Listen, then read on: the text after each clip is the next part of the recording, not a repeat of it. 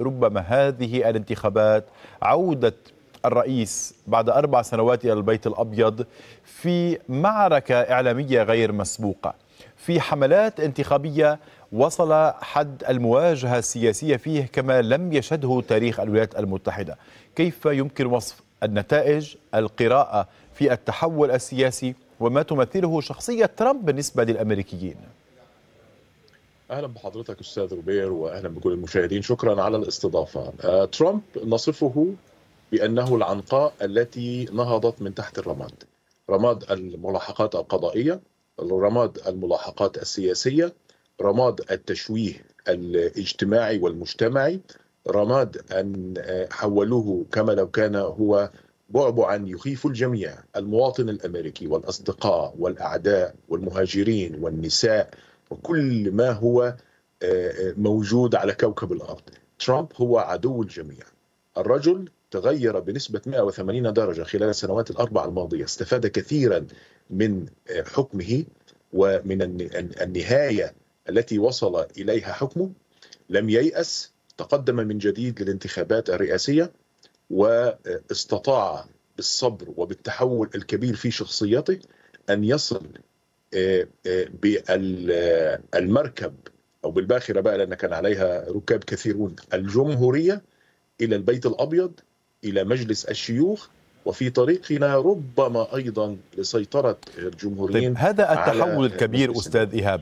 هل فعلا كنت تتوقع بأن ينال ترامب بعد كل الحملات الدعائية أو ما يعرف في الولايات المتحدة بالباد بابليسيتي الإخفاقات أيضا السياسية التي اتجه إليها. بأن يتجاوز ال 300 صوت وهو يقترب منها. يعني عودة سيناريو ونتائج 2016 في مواجهة صحيح. كلينتون.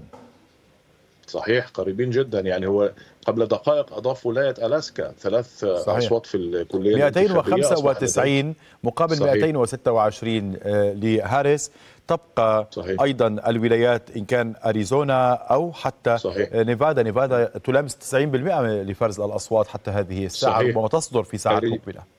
صحيح. هو لو فاز بأريزونا فقط سيضيف 11 صوتا ويكون لديه 303 أصوات. هي نفس الأصوات التي حصل عليها في انتخابات م. 2016 أمام هيلاري كلينتون. الرجل حقق انتصارا قويا وساحقا وماحقا وهذا يدل على شيء.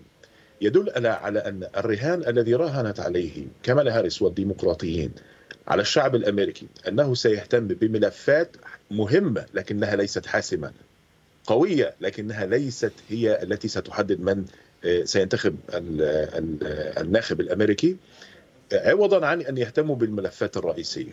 بمحدودية ميزانيته 300 ونيف تقريبا مليون دولار استطاع أن يدير هذه الميزانية بشكل جيد جدا وجهها في الاتجاهات الصحيحة. نعلمها جميعا يعني بات الجميع يعلم ما هي الملفات. طيب هل نحن نعلمها ولا يعلمها الديمقراطيون؟ يعلمونها. لكن للأسف الشديد الديمقراطيون اتخذوا نهجا مغايرا تماما لآمال وطموحات الشعب الأمريكي. والشعار الذي اختاره ماجا ميك أمريكا جريت أجين هذا شعار حقيقي ينبع من الشارع. يا أستاذ روبير أنا دائما كنت أخرج معكم وأقول الاستطلاعات الرأي غير حقيقية لأنها لا تأخذ بنبض الشارع الأمريكي الحقيقي. استطلاعات الرأي يقوم بها تقوم بها القنوات التلفزيونية الأمريكية ووسائل الإعلام والصحف في محيط مدن حضارية في نيويورك في شيكاغو في واشنطن دي سي في لوس هذه نقطة بالغة الأهمية. أن ذكرت استطلاعات الرأي وذكرت المدن الكبرى وهنا الأمريكي الريفي وهنالك يعني دراسات أيضا في انتخابات العام 2016 لاستقطاب البسطاء لدى ترامب أو هذا يعني الخطاب القومي الذي أيضا أعاده إلى النفوس كانت تجاوزته الولايات المتحدة في العقود الثلاثة والاربعه الأخيرة. أي شخصية يمثلها ترامب؟ هنالك من يقول بأنه نجح أيضا يدخل يعني الذاكرة الجماعية ليس فقط كرئيس. ليس فقط كمطور كرجل أعمال ناجح.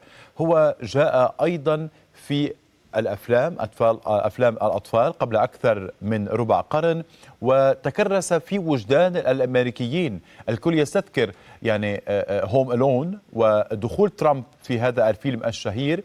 وكل الدراسات تتحدث بأن ترامب نجح أن يدخل في الذاكرة الجماعية لأجيال لشباب ينتخبونه اليوم ويشعرون بأنه يمثل فعلا الحلم الأمريكي ويمثل أكثر هذه الشخصية الهوليودية صحيح أتفق مع هذا الأمر. وترامب هو صديقك الذي ستجده جنب جنبك على القهوة. يشرب معك القهوة وستجده جنبك جانبك في المصنع. وأنت تصنع السيارة وستجده بجانبك في مدرج الطائرات وهو يصف الطائرات وستجده بجوارك في المستشفى وهو يقوم بالركض لإنقاذ الأرواح والعمل في الإمرجنسي روم إلى آخره. ترامب رجل أمريكي من الشارع الأمريكي من الشارع الأمريكي من من بداية ريفه إلى أقصى أغنياء أغنيائه. هو خاطب الجميع. يخطئ من يعتقد أن دونالد ترامب خاطب الطبقات المتوسطة والشعبوية أو أن من انتخبوه هم الأقل تعليما والأقل فهما وأن النساء الذين يسيرون خلف ترامب هم نساء مسيرات وليس ولسن مخيرات. هذا ما حاولت للأسف الشديد كامالا هاريس والديمقراطيين أن يصوروه عن كل طوائف المجتمع التي ستنتخب دونالد ترامب. طيب بعد كل هذه الدعاية وتشويه الرجل وملاحقته قضائيا وسياسيا ومحاولتي اغتيال.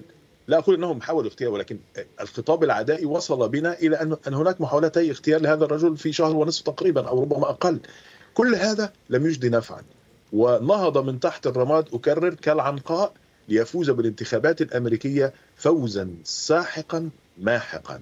ويؤكد شيء مهم جدا. كنت حضرتك تتحدث مع الأخ العزيز الأستاذ أبو بكر مراسلكم العزيز هنا في واشنطن وكان يقول إنه يعني ترامب بسيطرته وشخصيته على الحزب الجمهوري سيكون من الصعب أن يكون هناك شخصيات أخرى تظهر. وأنا أقول لك في هذا الإطار أستاذ روبير وتذكر كلامي إنه دونالد ترامب بما فعله اليوم بالفوز الساحق الماحق والقدرات الهائلة على التحمل والوصول إلى المنصب الرئاسي من جديد مرة أخرى بعد كل المعطيات التي كانت تسير في غير صالحه هو يسطر رو موديل أو نموذجا يحتذى يحتذى به داخل الحزب الجمهوري لنشاهد رجالا وقيادات وسيدات في الحزب الجمهوري خلال الفترة القادمة من نوعية دونالد ترامب. لأنه يعني علمهم كيف تنهض من حيث درجة ما تحت الصفر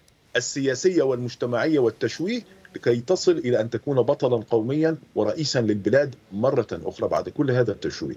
هذا الرجل أيقونة وأسطورة في تاريخ السياسة الأمريكية وليس أدل على ذلك من عودته القوية في الانتخابات والمفاجاه الكبيرة التي حققها بالولايات المتأرجحة يعني فوز فوز غريب أنا لم أكن أتوقع أن أنا كان ممكن أنا توقعاتي أنا انتخبت دونالد ترامب والجميع يعلم ذلك لكن كنت متوقع أن يخسر بسبب الحالة التي نعيشها من من تشويه لهذا الرجل، لكن أعيد وأكرر في هذه النقطة ذهاب البروباغندا وهنا تدخل في إطار. الحملات الانتخابية الأمريكية.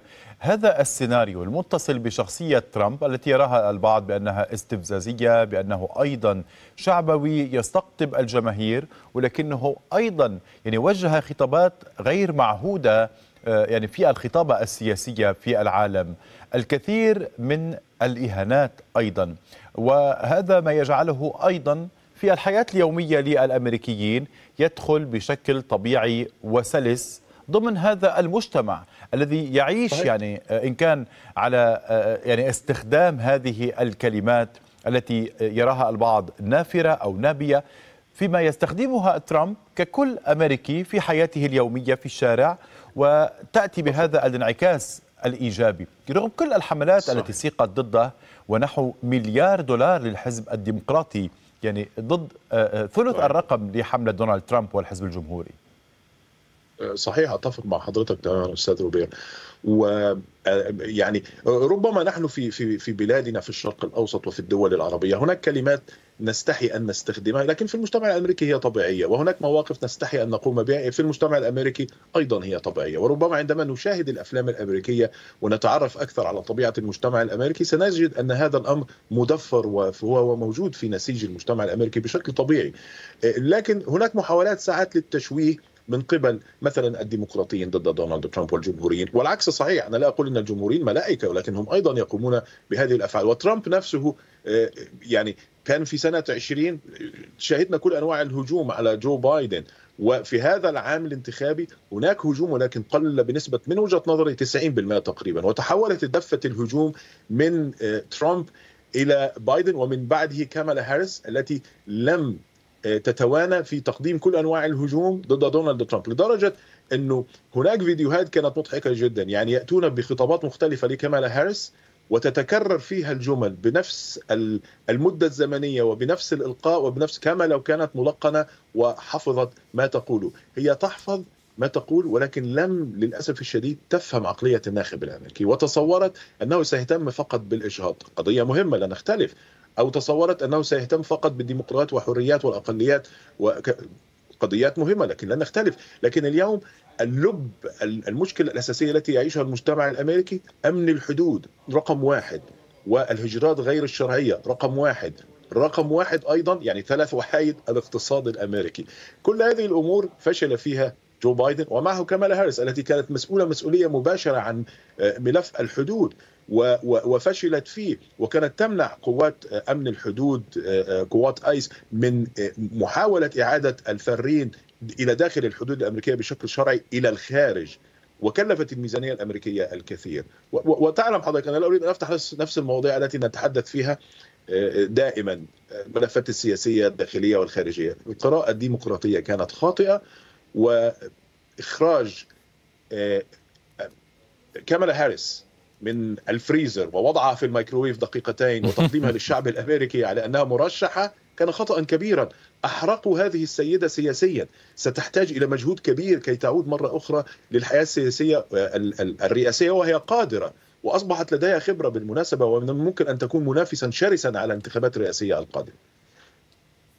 أشكر ضيفنا جزيل الشكر الكاتب والباحث السياسي المعروف إيهاب عباس أنت كنت معنا منذ أشهر طويلة في ملف الانتخابات الرئاسية. كان لك الكثير من القراءات والمطالعات أيضا السياسية اللافتة. نختم معك الحملات الانتخابية الانتخابات وأيضا نتائج فوز دونالد ترامب بولايات ثانية. بعد أربع سنوات على مغادرته البيت الأبيض.